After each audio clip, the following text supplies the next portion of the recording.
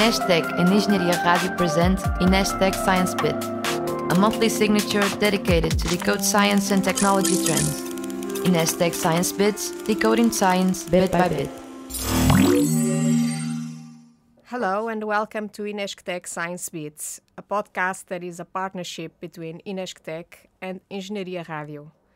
Here we shed a light on the latest trends in science and technology, trying to dive deeper in each subject with the help of INESC TEC experts and researchers.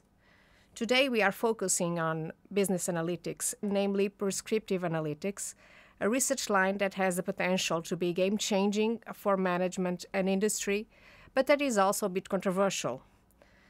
To talk about prescriptive analytics, we welcome today two researchers from INESC TEC Center for Industrial Engineering and Management, Bernardo Almada Lobo and Gonçalo Figueira. Thank you both for being here. Bernardo, I would start to ask you what is exactly business analytics? Anna, let me start by thanking you for the nice invitation. In broad terms, business analytics is a set of analytical methodologies uh, that enable the creation of business value. It is clearly data driven and should drive business action. Even though the ultimate purpose is to make better decisions and what we want is to empower decision making, the research and development that we conduct on analytical methods has different objectives and uh, are employed in different settings. We can do it to get better information and build on top of large sets of data to obtain a clear picture of the past and present. We also can do it to get better predictions for instance, to obtain careful predictions of outcomes and estimates of risk, and somehow to point toward managerial problems. And finally, we also can do it to get better decisions based on mathematical optimization models, algorithms, to somehow support complex decisions for improving performance in uh, multiple domains across different industries. Okay, but if a company or organization wants to apply analytics, where should it start, Gonçalo? Okay, thank you also for this invitation. Uh, where should the company start, right? I think it will depend on a lot of things. It will, of course, depend on the type of company, the maturity of the processes that it has in place, and especially the maturity of, of the data. Data is actually one of the most critical points, if not the most, when we are applying analytics we could say it's the raw material of the analytics machine. No data, no analysis we can do on top. But having data is not enough because we need to have good quality data, data in which we can rely. Otherwise, the results will be of little use or no use at all. There is this well known expression that is the GIGO rule G I G O garbage in, garbage out we cannot expect the output to be more reliable than the data that was used to feed it. Okay, but this to say that the first step is to have good quality data. Then you can start applying analytics. And the type of analytics will depend basically on the main issues and challenges the company wants to address. So, for instance, if a manager wants to understand what's happening in his plant or in his production line, or even in a given machine, we should apply descriptive analytics. Predictive analytics will be useful to understand what might happen or what is likely to happen. For instance, how much we expect to produce and sell, or when a machine could break down. And finally, prescriptive analytics will really prescribe solutions, such as how to produce or when to perform maintenance. Right, but is there a sequence in which these different types of analytics should be conducted? I mean, should we start with descriptive analytics and end with prescriptive analytics, Gonçalo? That's exactly right. We, uh, that would be the natural path. First, explore the data and understand the problems, the challenges, the issues, and only then try to predict and prescribe solutions. Only when we have a good understanding of the current situation, we can try to predict what will happen and then what we should do. Somehow, prescriptive analytics takes advantage of the results of predictive analytics, which in turn uses the output of descriptive analytics. But there's another reason why we should start with descriptive analytics. It's because applying prescriptive analytics in practice is much more challenging. The ambition is much higher.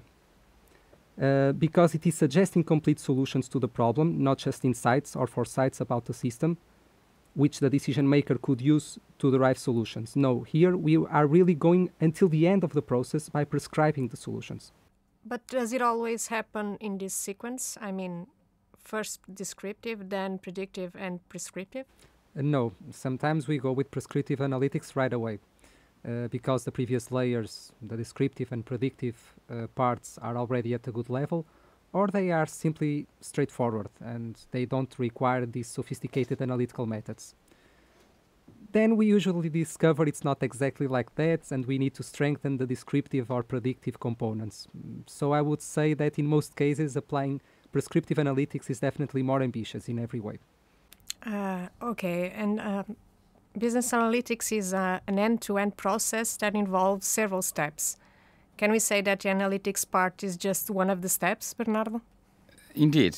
Uh, actually, the business analytics project is, is, is a journey uh, with several building blocks. Um, the first thing we should try to understand what is the business problem and whether this problem is ready for an analytic solution in other words, so we should somehow frame the business problem. Then we need somehow to translate the what of the business problem into the how of the analytics problem. We are here actually somehow trying to reformulate the problem statement as an analytics problem. The data block is fundamental, as Gonçalo mentioned before. So everything related to data needs and sources, uh, the procedures to define uh, the acquisition, cleaning, the structure, and the way we summarize the data, um, and also the way we perform some initial data data analysis. Then comes the block related to um, the ability of selecting the approach to solve the business problem. It's, it should be emphasized that the ideal method highly depends on the type and characteristics of the problem. A wise choice requires solid analytical expertise and, and is critical for success. There is always a trade off to make between what we want to achieve. Is it accuracy, simplicity, speed, scalability of our approach, flexibility? Let me give an example. How should we somehow select a prescriptive method to conduct R&D activities? Does the business problem have a massive number of variables? Is it highly combinatorial problem? Does it face both scale and complexity issues? Is, for instance, uncertainty a key factor? How hard is to, to reach a feasible solution? Then we need to perform the analytical testing, where we usually conduct sensitivity analysis and we perform business validation. And of course, after that part, if we are successful, we need to deploy, deploy the model, the approach, and help solving the business problem. The end, at the end, uh, it is mandatory that we manage the model life cycle to evaluate the business benefit of the overall approach over time. Can you provide some application examples of prescriptive analytics in business or in industry? Yeah, thank God optimization problems appear everywhere. They arise in a wide variety of applications, in many different forms. We are actually interested in real world problems that are difficult to solve. In those problems, the, um, the number of possible solutions in the search space is so large uh, that forbids us to, to, to employ an exhaustive search for the best answer. This is what we call combinatorial optimization problems. At INESC TEC, we have been solving managerial problems in various domains, such as manufacturing, health, um, retail, mobility, with a special focus on operations management. Some of them are more of a strategic nature, such as what we do with network design, how to locate facilities, not how, where to locate facilities, plants, warehouses, or some of the challenges might be of tactical nature, such as operations planning, everything that we do related to workforce planning, capacity planning, distribution planning, inventory management, uh, maintenance policies for asset management. And other challenges are more of operational nature, such as production lot sizing and scheduling, uh, vehicle routing, um, and those type of, of problems. Okay, but is there any common ground between these problems? And uh, it's interesting that you ask that, that question. Um, all those problems, they are either sizing the resources or planning the resources or scheduling the resources. And these three different tasks, we try to do it efficiently. And the resources, they might be financial, product related, machine equipment related, or they might actually be human resources type. They also show all those problems. If we deep dive on, on the challenges, they also show very intricate objective functions and in a lot of situations, exotic constraints. And in order to address them, you really need to have somehow a holistic perspective of the whole problem. You should try to cover the multiple processes that are touched by them, the multiple stakeholders, the different uh, key performance indicators, and at the end, if you really want to promote the adoption of analytics uh, processes to solve them, you really need to have strong cultural change. So, uh, concerning uh, prescriptive analytics, we are talking about a set of mathematical models that ultimately can help the managers and CEOs in decision making, right? Let me just clarify that optimization is not only about mathematical models. It is true that one of the approaches is, is indeed mathematical programming, where we do describe the problem through a set of complex mathematical equations. Then the, the, this model is solved by dedicated solvers. This method is, is actually very flexible in general, may prove optimality, but the computing times are usually quite long for uh, real world instances.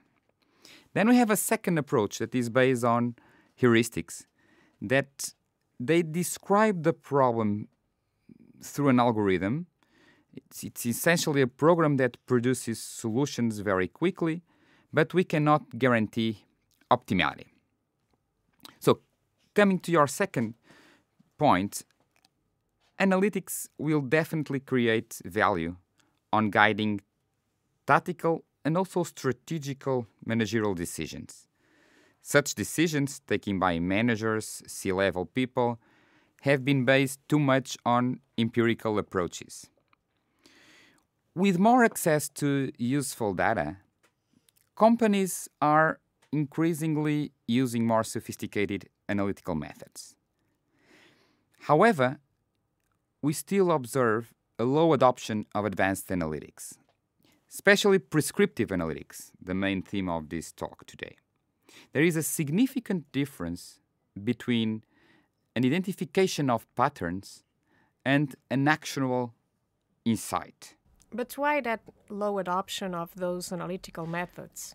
One reason for a low percentage of adherence is a considerable number of unsuccessful prescriptive analytics projects.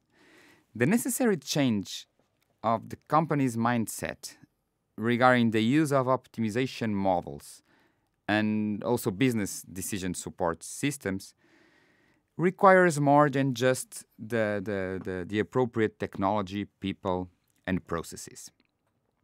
Actually, to be successful, you really need to have the buy in of all the stakeholders involved, from top level to top, top level management. So, in this case, their commitment and enthusiasm should be visible to data owners, for instance, employees affected by the change, and users of the new solutions and analytics processes. In a lot of situations, managers they are reluctant to apply recommendations from the system, the model, um, especially because they cannot somehow understand the underlying reasoning. And, and this trust issue comes from models where they are being typically used as black boxes.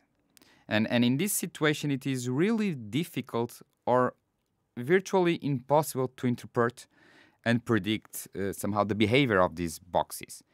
If the box is transparent, if the humans not only validate the solutions, but are also actively and explicitly involved and contributing with solutions themselves, they are somehow involved in guiding the learning process with their domain knowledge. This is a kind of somehow collaborative optimization. In other words, what I'm trying to say is that if we can create explainable models, there is a much larger chance of the adoption of analytics by, by managers. So managers cannot hide behind the technology. They have to be in control. They must interiorize that the system will help them making decisions faster, more agile, rather than just assuming that the system will make better decisions for them. Uh, I do believe that it is not realistic to assume that the human intuition and the expertise factor can be eliminated. For instance, to say the machine algorithm arrived at this solution is, in my view, to abdicate uh, the analytics responsibility. Right. And um, what about the methods? What tools are typically used by, for prescriptive analytics, Gonçalo? Okay, there is a wide range of methods, um, but the core is really optimization methods, as Bernardo was saying, which includes a variety of different uh, paradigms. Uh, mathematical programming is one of them, but we have also constraint programming, heuristics and meta heuristics, and then we have also other techniques like multi-criteria decision-making methods and so on. But we can also have hybridizations. And the hybridizations can be between two optimization methods like meta heuristics and mathematical programming, the so-called math, math heuristics, which have a number of advantages. The main, I would say, is that we can use the heuristic components only the most difficult uh, part of the of of, uh, of the problem, the most combinatorial part and then use mathematical programming for the rest of it. Or we can also combine optimization with other methods. For instance, combining optimization with simulation is one of the most interesting approaches in my opinion. Because pure optimization methods, such, such as mathematical programming, they can incorporate some detail of the problem, but not too much detail, because they become too complex very quickly. Simulation, on the other hand, allow us to, get, to go much further in the things we can model. So combining the two can be really powerful. Then, of course, it might become very time consuming because we will be running a lot of simulations. But the secret there, I would say, is to carefully design the integration of simulation with optimization. Um, there's a lot of different ways to do that, and there is not a one size fits all solution. So, I would say the best way will depend on the specific problem we need to solve. Okay, um, let's try to look forward. Can you predict which should be the future developments in prescriptive analytics? Okay, uh, um, first let me start by saying that making these kind of predictions is always a difficult exercise, but I can try to point some possible directions. Um, there is a vast number of ways in this field moving forward, so I will certainly not be exhaustive. But one is what I just mentioned, investigating the combination of simulation and optimization. So this has been explored for, for quite some time now, especially in the last two decades. But there are a lot of research avenues because there is a huge number of possible combinations. And each of these combinations can be studied and improved. Um, talking specifically about optimization, um, I would say that in the last three decades we have witnessed a substantial amount of work on approximate optimization methods, so the so-called heuristics and meta-heuristics because problems got more complex, so we needed to give up on optimal solutions in some cases. Uh, however, the methods are also being combined with exact optimization methods to accelerate the time we take to get optimal solutions. Uh, developments on mathematical programming uh, based heuristics will continue, as the scientific community is always interested in solving problems until optimality, or at least in knowing how far we are from the optimal, um, and doing this in reasonable computing times. Are these future uh, developments connected with the challenges of Industry 4.0? Yes. Yes. I would say that in the context of Industry 4.0, problems are getting even more complex than before. So much that systems need to be decomposed in subsystems and decisions need to be decentralized. For instance, to produce highly customized products, factories are becoming more flexible and decentralized. In this new industrial revolution, in this new Industry 4.0, a machine is becoming more autonomous and able to decide in real time what to produce and how to do it. Uh, but we have other examples. For instance, order fulfillment of large online retailers is another example. Uh, these activities are being automated and the decisions are made in real time. Whenever an order arrives at, at, at one of these retailers, we need to decide from which warehouse we will ship the products or how the robots will perform order picking in some automated warehouse. Uh, so for these real-time decisions, solving a mathematical model or even running a meta-heuristic is not a viable option because that would require at least some minutes, which we don't have. We need simple decision rules that can be executed instantly. And the challenge there is to make them also effective because we have many uh, existing rules which are simple, but they are not effective. And here machine learning is a, an interesting tool uh, because we could make the process of learning new rules automatically. Rules which will be a little more complex, but also more effective. Uh, so far, we have seen machine learning used mainly for descriptive and predictive analytics, but now that companies are consolidating these processes, I would say that prescriptive analytics would become a central topic in machine learning, uh, which could also be cross-fertilized with optimization techniques. Right. Um, well, with these uh, prospects on business analytics, we end this podcast. Thank you, and we will meet again for another insightful conversation about science and technology. Thank you very much.